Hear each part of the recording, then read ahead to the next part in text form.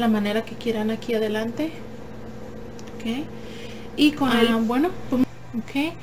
Y el otro es extremo me lo paso por aquí. Me lo paso por aquí. Y le pongo otro pin de este tipo que solo son los que tienen ay, como parecen clavito pero pero no es un clavito es para coser costura ok. No se despeguen ya regreso. Bye